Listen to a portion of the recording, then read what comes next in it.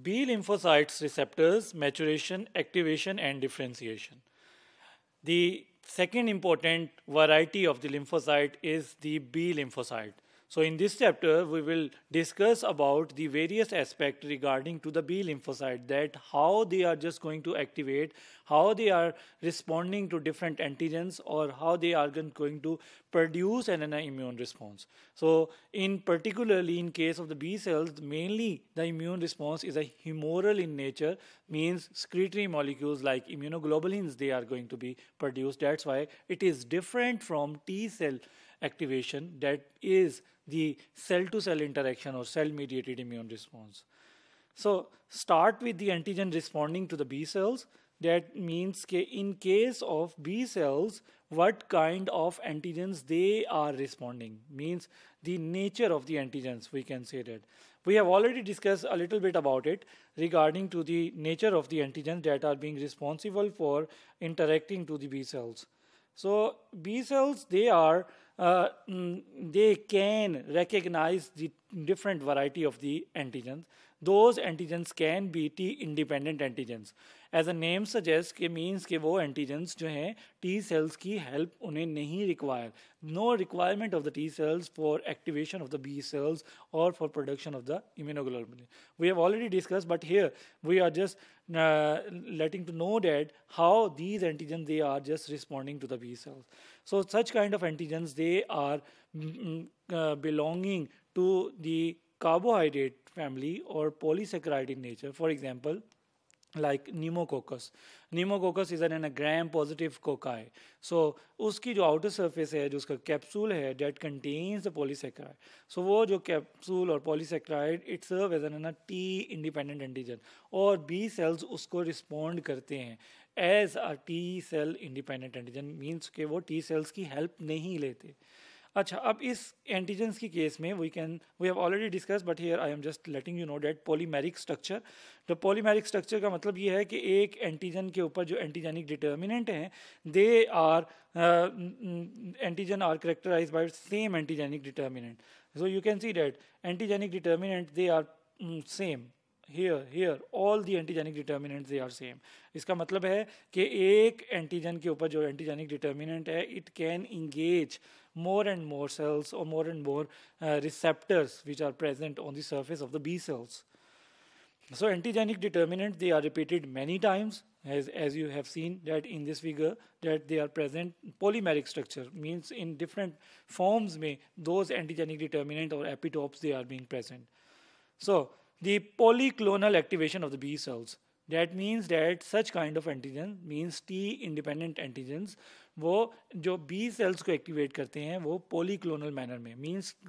there are so many clones of the B cells they can be activated अब जब बहुत सारे clones different specificities के they are just going to be activated so the response will be more appropriate so many of these antigens can activate the b cell clone specific for other antigens के means कि ऐसे clones भी activate हो सकते हैं जो कि दूसरी एंटीजेंस के लिए स्पेसिफिक हों so there are two different kind of the T independent antigens तो the first is the type one जो कि पॉलीक्लोनल एक्टिवेटर है जो सिर्फ और सिर्फ बी सेल्स को पॉलीक्लोनली activate करते हैं। और बहुत से क्लोन्स बी सेल्स के they are just going to be activated and the type two which are not polyclonal activator वो पोलिक्लोनल एक्टिवेटर के तौर पर एक्ट नहीं करते। वो सिर्फ़ एक एंटी स्पेसिफिसिटी के बी लिम्फोसाइट्स को एक्टिवेट करते हैं, ताकि वो एक ही किस्म के एंटीजेंस को कैटर कर सकें। So it depends upon the nature of the T independent antigen So another important kind, uh, such kind of antigens which are T independent antigen, they are more resistant to degradation by phagocytic cells. इसका मतलब ये है कि ये antigens phagocytic cells से degrade नहीं हो सकती तो that's why they are not going to present to T cells. तो that's why is in antigen के केस में ये टी सेल्स को एक्टिवेट नहीं कर सकती और they can persist for the longer time or lambe arse tak they can persist inside the body and as a result they causes the consistent stimulation of the immune system. Immune system की continuous और consistent stimulation जो है वो करती हैं और ये directly B cells को एक्टिवेट करती हैं। डायरेक्टली का मतलब ये है कि जो बी सेल्स के ऊपर जो सरफेस रिसेप्टर्स हैं, उनके साथ बाइंड करती हैं और उनको डिफ्रेंशिएट करती हैं इन टू प्लाज्मा सेल्स ताकि एंटीबॉडीज़ प्रोड्यूस हो सकें। So there is no need of T cells help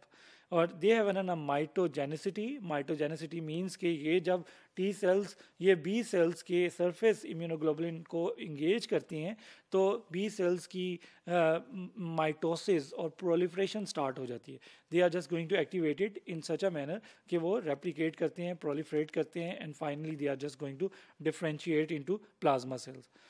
Another important variety of the antigen which can respond to B cell, they are T-dependent antigen. T dependent का मतलब है कि they need the help of the T cells without the T cell they are not going to activated B cells activate नहीं होंगे B sales proliferate नहीं करेंगे B sales plasma cells में differentiate नहीं होंगे and ultimately there would no antibodies So structurally, we can say that these molecules, they are, uh, they can't fulfill the molecular requirement for direct stimulation. जैसा कि T independent antigens directly B cells को activate कर रही थी। Here in this case in contrast to T independent antigen T dependent antigen they are not fulfilling the molecular requirement उनका molecular structure ऐसा नहीं है कि वो बी सेल्स को डायरेक्टली एक्टिवेट कर सकें। तो इसी वजह से they need the help of T cells that's why these are called as T dependent antigen structurally you can see that they are और by nature they can easily degraded by phagocytes phagocytes में अगर ये चली जाए by the process of phagocytosis तो phagocytosis में इसकी degradation बहुत ईजीली हो जाती है as compare to T independent antigen और इसी वजह से ये प्रोसेस होके